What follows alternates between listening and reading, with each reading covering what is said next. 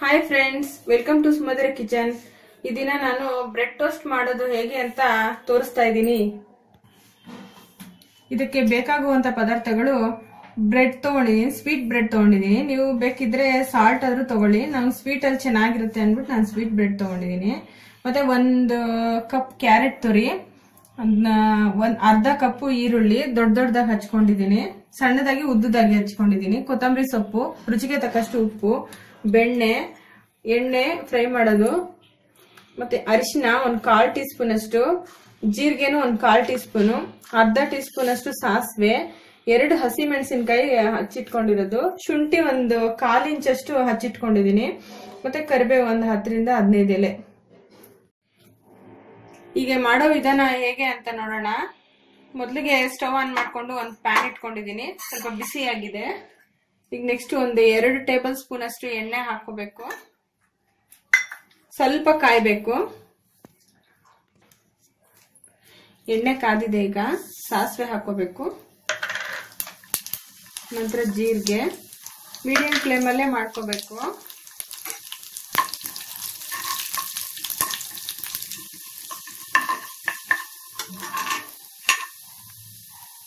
ಸಾಸಿವೆ ಸಿಡಿದ ನಂತರ ಹಸಿಮೆಣಸಿನಕಾಯಿ, ಕರಿಬೇವು.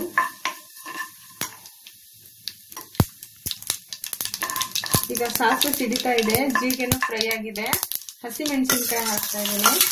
ಹಸಿಮೆಣಸಿನಕಾಯಿ ನೋಡಿ, ಎಣ್ಣೆಗೆ ಹಾಕೊಂಡ್ಬಿಟ್ರೆ ತುಂಬಾನೇ ಖಾರ ಆಗುತ್ತೆ. ನೀವು ಖಾರ ಇಷ್ಟಪಟ್ರೆ ಈ ರೀತಿ ಹಾಕೋಬಹುದು ಟೋಸ್ಟ್ ಬ್ರೆಡ್ ಸ್ವಲ್ಪ ಸಪ್ಪೆ ಇರುತ್ತಲ್ವಾ ಟೋಸ್ಟ್ಗೆ ಅದಕ್ಕೆ ನಾನು ಖಾರ, ಫಸ್ಟ್ ಮೆಣಸಿನ್ಕಾಯಿ ಹಾಕೊಳ್ತಾ ಇದ್ದೀನಿ. ಮತ್ತೆ ಶುಂಠಿ, ಮತ್ತೆ ಕರಿಬೇವು. ಸ್ವಲ್ಪ ಪೀಸ್ ಮಾಡಿ ಹಾಕೊಳ್ಳೋಣ ಅದು ಘಮ ಎಲ್ಲ ಚೆನ್ನಾಗಿ ಬಿಟ್ಕೊಳ್ಳುತ್ತೆ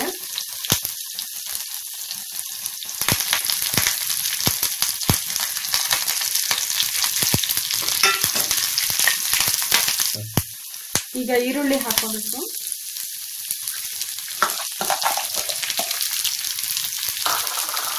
ಈರುಳ್ಳಿ ಸ್ವಲ್ಪ ಫ್ರೈ ಆಗಬೇಕು. ನಾನು ಉದ್ದುದ್ದ ಹಚ್ಚಿಟ್ಕೊಂಡಿದ್ದೀನಿ ನಿಮಗೆ ಮನೇಲಿ ಯೂಸ್ ಮಾಡ್ತೀರಾ ಹಾಗೆ ಮಾಡ್ಕೊಳ್ಳಿ, ಸಣ್ಣದಾದರೂ ಹಚ್ಕೊಳ್ಳಿ. ಈ ಟೋಸ್ಟ್ ತುಂಬಾ ರುಚಿಯಾಗಿರುತ್ತೆ. ಈ ಹೊರಗಡೆ ಎಲ್ಲ ಹೋಗಿ ತಿನ್ನೋದ್ರಿಂದ, ತಿನ್ನೋ ಬದಲು ನೀವು ಮನೇಲೇ ರುಚಿಯಾಗಿ ಆರಾಮಾಗಿ ಮಾಡ್ಕೋಬೋದು. ಬೇಗನೆ ಆಗುತ್ತೆ, ತುಂಬ ಈಸಿ ಮೀಡಿಯಂ ಫ್ಲೇಮಲ್ಲಿ ಇನ್ನೊಂದು ಟೂ ಮಿನಿಟ್ಸ್ ಬಂದರೆ ಸಾಕಿದ. ಈಗ ಈರುಳ್ಳಿ ಫ್ರೈ ಆಗಿದೆ. ಕ್ಯಾರೆಟ್ ಹಾಕೊಳ್ಳೋಣ.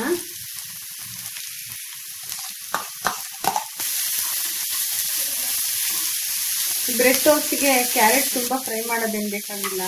ಒಂದು ಅರ್ಧ ಭಾಗ ಫ್ರೈ ಮಾಡಿಕೊಂಡ್ರೆ ಸಾಕು. ಆಮೇಲೆ ಫ್ರೈ ಮಾಡ್ಕೋಬೇಕಾಗುತ್ತೆ ಸ್ವಲ್ಪ.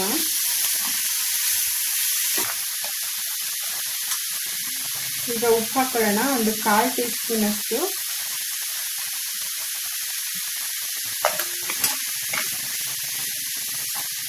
ಈಗ ಒಂದು ಟೂ ಮಿನಿಟ್ಸ್ ಫ್ರೈ ಆಗಲಿ. ಅಲ್ಲಿವರೆಗೂ ಪ್ಲೇಟ್ ಮುಚ್ಚಿಡ್ತೀನಿ ಈಗ. ಈಗ ನೋಡಿ, ಫ್ರೈ ಆಗಿದೆ. ಒಂದು ಟೂ ಮಿನಿಟ್ಸ್ ಫ್ರೈ ಮಾಡ್ಕೊಂಡಿದ್ದೀನಿ. ಈಗ ಕ್ಯಾರೆಟ್ ಫ್ರೈ ಆಗಿದೆ. ಆಗ್ಲೇ ವಿಡಿಯೋದಲ್ಲಿ ಟೊಮೆಟೊ ಮಿಸ್ ಆಗಿದೆ. ನಾನು ಒಂದೇ ಒಂದು ಸಣ್ಣ ಟೊಮೆಟೊ ಹಾಕೊಳ್ತಾ ಇದ್ದೀನಿ. ನಿಮ್ಗೆ ಟೊಮೆಟೊ ಇಷ್ಟ ಇಲ್ಲ ಅಂತಂದ್ರೆ ಸ್ಕಿಪ್ ಮಾಡ್ಕೊಳ್ಳಿ. ಹಾಕಲಿಲ್ಲ ಅಂದರೂ ಹಾಗೇನೆ ಚೆನ್ನಾಗಿರುತ್ತೆ. ಒಂದು ಟೂ ಮಿನಿಟ್ಸ್ ಫ್ರೈ ಆದರೆ ಸಾಕು. ಉಪ್ಪಾಗಿರೋದ್ರಿಂದ ಟೊಮೆಟೊ ಬೇಗ ಮೆತ್ತಗಾಗ್ಬಿಡುತ್ತೆ. ಆಗ ಕೈಯಾಡಿಸ್ತಾ ಇರಬೇಕು.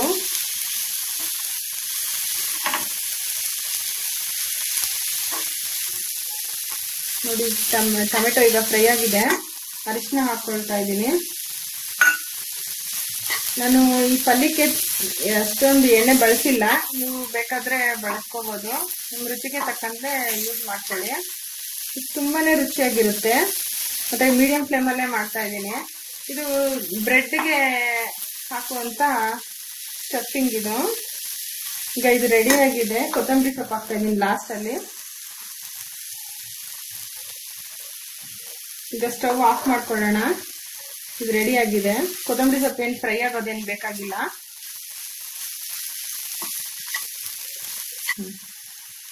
ಈಗ ಟೋಸ್ಟ್ ಹೇಗೆ ಮಾಡೋದು ಅಂತ ನೋಡೋಣ. ಈಗ ಟೋಸ್ಟ್ ಹೇಗೆ ಮಾಡೋದು ಅಂತ ನೋಡೋಣ. ಮೊದಲಿಗೆ ಸ್ಟವ್ ಆನ್ ಮಾಡಿಕೊಂಡು ಮೀಡಿಯಂ ಫ್ಲೇಮ್ ಇಟ್ಟಿದ್ದೀನಿ. ಒಂದು ಪ್ಯಾನ್ ಇಟ್ಕೊಂಡು, ಒಂದು ಇಂಚ್ ಇಟ್ಕೊಂಡು. ಫಸ್ಟು ಬಟರ್ ಹಾಕೋಣ ಇಂಚ್ ಮೇಲೆ.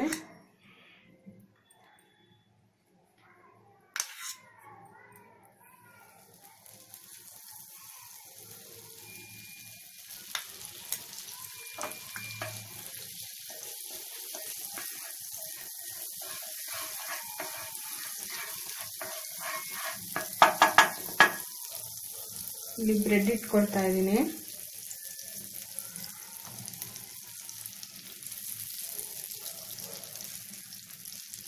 ನಂತರ ಇದಕ್ಕೆ ಪಲ್ಯ ಹಾಕೊಳ್ಳೋಣ. ಈಗ ಮಾಡಿರೋಂಥ ಪಲ್ಯನ ಬ್ರೆಡ್ ಮೇಲೆ ಹಾಕಿದ್ದೀನಿ. ನಿಮಗೆ ಎಷ್ಟು ರುಚಿಗೆ ಬೇಕು ಅನ್ಸುತ್ತೋ ಅಷ್ಟು ಹಾಕೊಳ್ಳಿ. ನಾನು ಸ್ವಲ್ಪ ಸ್ವಲ್ಪ ಹಾಕೊಳ್ತಾ ಇದ್ದೀನಿ. ನೀವು ಮನೇಲಿ ಅವನ್ ಇದ್ರೆ ಅವನ್ ಅಲ್ಲಾದ್ರೂ ಮಾಡ್ಕೋಬಹುದು ಆದ್ರೆ ಇದನ್ನ ಮತ್ತೆ ಉಲ್ಟಾ ಮಾಡ, ಮಾಡಿ ಫ್ರೈ ಮಾಡೋಷ್ಟಿರಲ್ಲ ಹೀಗೆ ಫ್ರೈ ಮಾಡ್ಕೋಬಹುದು ನಾನು ಹಾಗೆ ಹೆಂಚಿ ಮೇಲೆ ಮಾಡ್ತಿರೋದ್ರಿಂದ ಈ ಸಲ ಒಂದ್ಸರಿ ಇದನ್ನ ಈ ಸ, ಕ್ಯಾರೆಟ್ ಸೈಡನ್ನು ಫ್ರೈ ಮಾಡ್ಕೋಬೇಕಾಗತ್ತೆ. ನೋಡಿ, ಈಗ ಫುಲ್ಲು ಪಲ್ಯನೆಲ್ಲ ಸ್ಪ್ರೆಡ್ ಮಾಡ್ಕೊಂಡಿದ್ದೀನಿ ಬ್ರೆಡ್ ಮೇಲೆ. ಈಗ ಇನ್ನು ಸ್ವಲ್ಪ ಬಟರ್ ಹಾಕೊಳ್ಳೋಣ.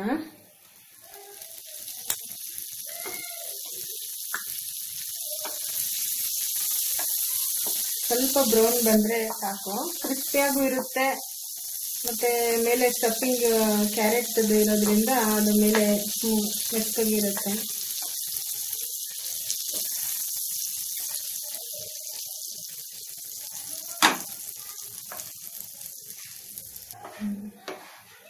ನೋಡಿ, ಈಗ ಇಷ್ಟು ಫ್ರೈ ಆಗಿದೆ ನೋಡಿ. ಇಷ್ಟು ಇಷ್ಟು ಫ್ರೈ ಆದರೆ ಸಾಕು.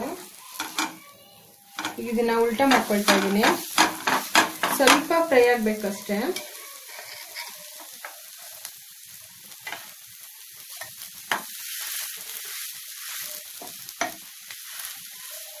ಈ ಟೋಸ್ಟ್ ತುಂಬಾನೇ ಚೆನ್ನಾಗಿರುತ್ತೆ.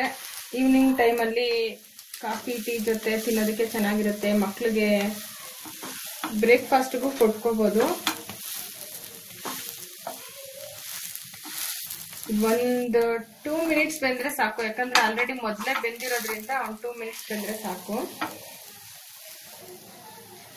ನೋಡಿ, ಈಗ ಒಂದು ಟೂ ಮಿನಿಟ್ಸ್ ಹಾಕಿದೆ, ಆಗಿದೆ, ಸಾಕು. ಇದು ಒಂದು ಒಂದು ನಿಮಿಷ ಸ್ವಲ್ಪ ಡ್ರೈ ಆಗಲಿ.